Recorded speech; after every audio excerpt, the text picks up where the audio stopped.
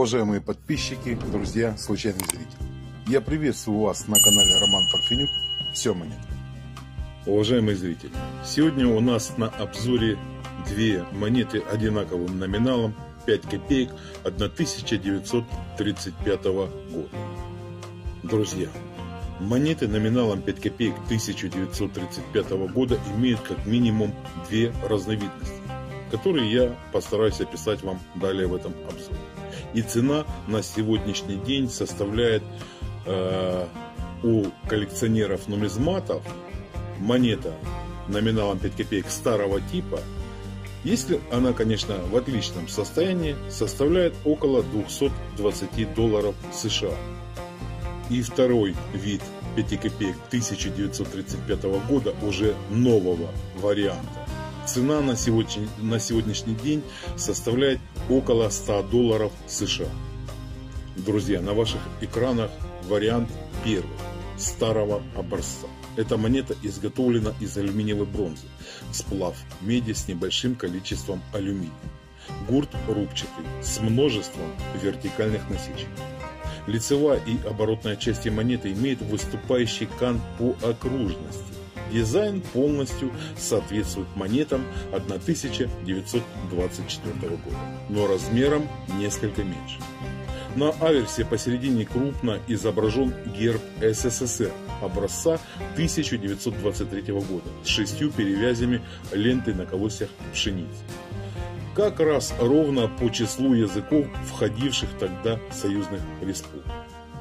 Герб упрощен и не имеет текста на ленте.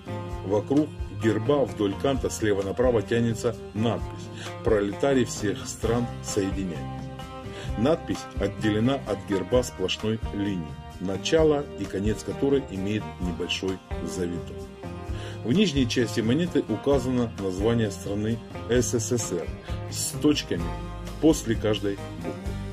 На реверсе вверху имеется крупная цифра 5, указывающая номинал – под ней слово «копеек», анцентрированное относительно номинала. Ниже год выпуска 1935. Еще ниже имеется круглая точка. По бокам вдоль канта расположены два пшеничных колоса, скрещенных внизу. Стебли колосьев имеют продолжение, проходят вдоль канта верхней части монеты и соединяются вместе. Вдоль стеблей имеется 7 участков, состоящих из двух точек. А сейчас у вас на экранах вариант второй. Это нового образца 5 копеек 1935 года. Характеристика практически одинакова. Единственное, что на аверсе крупно изображен герб СССР образца 1923 года, также с шестью перевязями ленты на колосьях пшеницы. По числу языков, входивших тогда в союзных республик. Герб упрощен. И что отличает от старого образца, то, что он не имеет текста на ленте. Под гербом вдоль канта имеется надпись «СССР». Крайние буквы расположены выше средних. Друзья, в заключение что могу сказать? Цена монеты 5 копеек 1935 года на нумизматических аукционах и ярмарках в значительной степени зависит от состояния. При оценке не менее важным критерием является разновидность по типу штемпелей, применявшихся при чеканке. Их список я уже проговорил ранее. По средней стоимостью поднимается усредненная цена по каталогам, дополненная данными о проходах на интернет-площадках. Средняя стоимость на такой пятачок на сегодняшний день составляет около 250 долларов США. Цена монеты 5 копеек 1933 года на нумизматических аукционах и ярмарках в значительной степени зависит от ее состояния. При оценке не менее важным критерием является разновидность по типу штемпелей – применявшихся при чеканке. Друзья, под средней стоимостью понимается усредненная цена по каталогам, дополненная данными о проходах на интернет-площадках. Давайте рассмотрим этот пятачок. Монета изготовлена из алюминиевой бронзы. Это сплав меди с небольшим количеством алюминия. Гурт рубчатый с множеством вертикальных насечек. Лицевая и оборотная части монеты имеют выступающий кант по окружности. Дизайн полностью соответствует монетам 1924 года, но размер несколько меньше. На аверсе посередине крупно изображен герб СССР образца 1923 с шестью перевязами ленты на колосьях пшеницы. По числу языков, входивших тогда союзных республик. Герб упрощен и не имеет текста на ленте.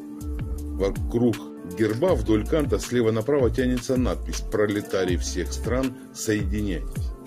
Эта надпись отделена от герба сплошной линией, начало и конец которой имеет небольшой завиток. В нижней части монеты указано название страны СССР с точками после каждой буквы. На реверсе вверху имеется крупная цифра 5, указывающая номинал, под ней слово «копеек», анцентрированное относительно номинала. Ниже год выпуска 1933. Еще ниже имеется круглая точка. По бокам вдоль канта расположены два пшеничных колоса, скрещенных внизу. Стебли колосьев имеют продолжение, проходят вдоль канта в верхней части монеты и соединяются вместе. Вдоль стеблей имеется 7 участков, состоящих из двух точек. Уважаемые телезрители, монета 5 копеек с датой выпуска 1933 одно из наиболее желанных приобретений для любого нумизмата. Эти пятиграммовые монеты из алюминиевой бронзы в отличной сохранности, я уже говорил, ориентировочно оценивается около 250 долларов. И это касается лишь тиражного экземпляра. Существует также вариант таких 5 копеек, за которые маститые и богатые коллекционеры-нумизматы готовы выложить сумму более 2000 долларов США. Высокая цена на пятаки 1933 года чеканки обусловлена их малым количеством в обороте. В отчетах Ленинградского монетного двора напротив в графе 5 копеек красуется немалый тираж объемом более 17 миллионов штук. Однако, по мнению сведущих в советской нумизматике экспертов, большая часть выпуска в 1933 году была отчеканена штемпелями с иной датой, а отчеты содержат общее суммарное количество монет, сданных заводом Госбанк. Штампы на монетном дворе используются до полной своей выработки и стирания, либо разрушения. Судя по всему, в 1933 году основная доля тиража пятикопеечной монеты как раз и чеканилась этим старым, но еще годным инструментом.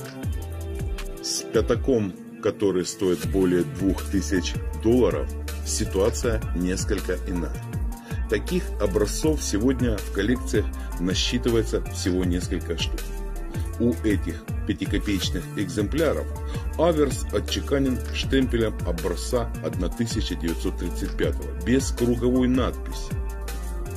Вероятнее всего появились они в результате пробной чеканки уже в 1935 в этом году производилась смена типа штемпеля лицевой стороны – и небольшая часть монет для пробы оказалась отчеканена с использованием старого штемпеля с датировкой 1933 на реверсе.